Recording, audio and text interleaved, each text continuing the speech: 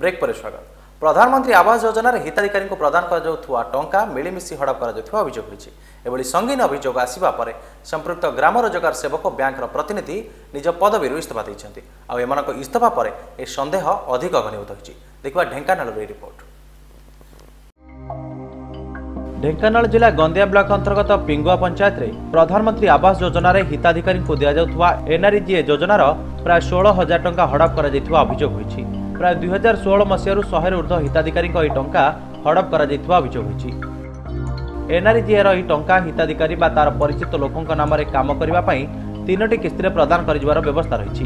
ତେବେ ସମ୍ପୃକ୍ତ ଗ୍ରାମ ରୋଜଗାର ସେବକ ଶୈଲେନ କୁମାର ସାହୁ ହିତାଧିକାରୀଙ୍କ ଅଜାଣତରେ ଅନ୍ୟ ନାମର ମଷ୍ଟର ରୋଲ୍ ବାହାର କରି ସେମାନଙ୍କ ବ୍ୟାଙ୍କ ଖାତାକୁ ଟଙ୍କା ପଇସା ପଠାଉଥିବା ଅଭିଯୋଗ ହୋଇଛି।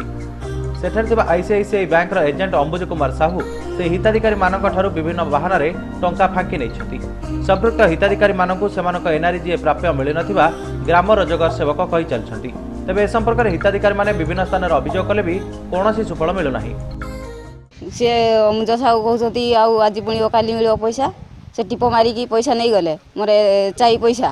ସେ ଚାଇ ପାଇଁ ଘର ଆସିଛି ଏଚ୍ ସେ ଆଜି ମିଳିବ କାଲି ମିଳିବ କହୁଛନ୍ତି। ଗଲାଠୁ ଆଉ କିଛି କହୁନାହାନ୍ତି ସେ। ପଇସା ସିଏ ଉଠେଇକି ଖାଇ ଦେଇଛନ୍ତି। କହିଲାଠୁ ସେ କହୁଛନ୍ତି ଆଜି ମିଳିବ କାଲି ମିଳିବ।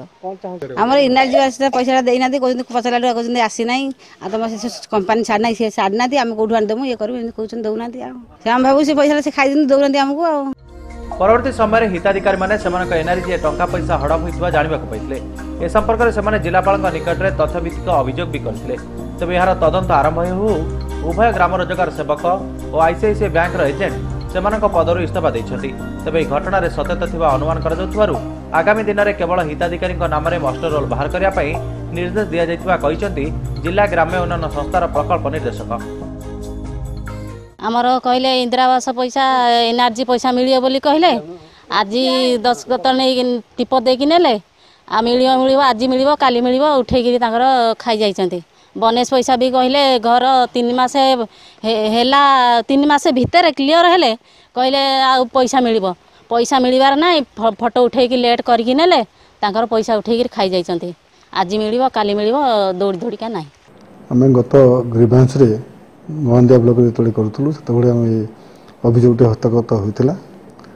ତାକୁ ଇନକ୍ୱାରି କରିବା ପାଇଁ ଆମେ ବିଡ଼ିଓ ଗନ୍ଦିଆଙ୍କୁ ନିର୍ଦ୍ଦେଶ ଦେଇଛୁ।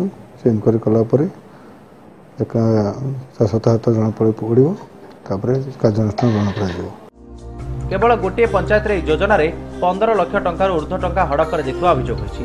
ତେବେ ଏଥିରେ ଦୋଷୀମାନଙ୍କ ବିରୁଦ୍ଧରେ କାର୍ଯ୍ୟାନୁଷ୍ଠାନ ଗ୍ରହଣ କରିବା ପରିବର୍ତ୍ତେ ସେମାନେ ପଦରୁ ଇସ୍ତଫା ଦେଇଥିବା ଯୋଗୁଁ ତାଙ୍କୁ ଛାଡ଼ି ଦେବା ପାଇଁ ପ୍ରଶାସନ ମସୁଦା ଚଳାଇଥିବା ଅଭିଯୋଗ ହୋଇଛି। ଢେଙ୍କାନାଳରୁ ଦୀପକ ମିଶ୍ର ହେଡଲାଇନ୍ସ ଓଡ଼ିଶା ପ୍ରହସନ ପାଲଟିଛି ଶିକ୍ଷାର ବିକାଶ ଖାଲି କଥାରେ କଥାରେ ବିକାଶ କିନ୍ତୁ ଅସଲରେ ଫଳ ପୁରା ଓଲଟା ଦିନ କେଇଟା ପରେ ପରୀକ୍ଷା ଦେବେ ଛାତ୍ରଛାତ୍ରୀ କିନ୍ତୁ ଏଯାଏଁ ମିଳିନି ପାଠ୍ୟପୁସ୍ତକ କେନ୍ଦ୍ରାପଡ଼ା ଡେରାବେସ୍ରୁ ଆସିଛି ଏଭଳି ସଙ୍ଗୀନ ଅଭିଯୋଗ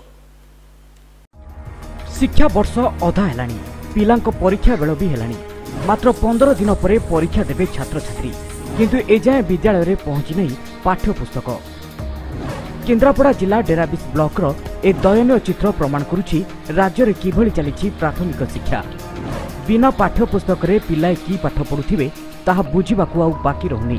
ଶୁଣନ୍ତୁ କ'ଣ କହୁଛନ୍ତି ଛାତ୍ରଛାତ୍ରୀ।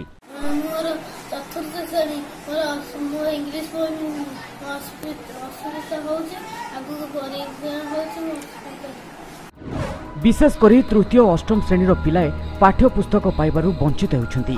ମୁଣ୍ଡ ଉପରେ ପରୀକ୍ଷା ଚିନ୍ତା କିନ୍ତୁ ପଢ଼ିବାକୁ ବହି ନାହିଁ। ଆଉ ଏଭଳି ସଙ୍ଗୀନ ଘଟଣାରେ ନିଜ କାନ୍ଧରୁ ଦାୟିତ୍ୱ ଖସାଇ ଦେଇଛନ୍ତି ବିଦ୍ୟାଳୟର ଶିକ୍ଷକ ଶିକ୍ଷୟିତ୍ରୀ। ତେବେ କେବଳ ରାମଚନ୍ଦ୍ରପୁର ଉଚ୍ଚ ବିଦ୍ୟାଳୟର ପ୍ରଧାନ ଶିକ୍ଷୟିତ୍ରୀ କହିଛନ୍ତି ବହି ପାଇଁ ଲେଖିଛୁ କିନ୍ତୁ ବହି ଆସିନାହିଁ।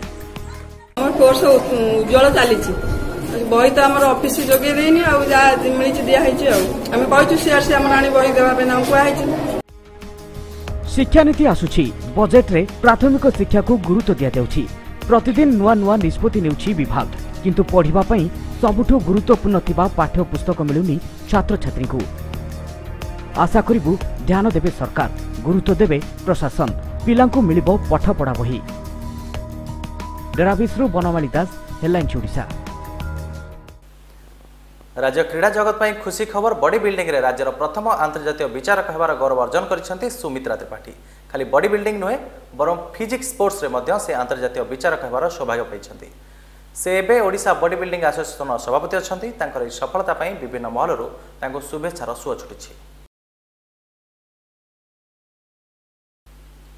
ବୁଲେଟିନ୍କୁ ଏଇଠି ରଖୁଛୁ। ନମସ୍କାର।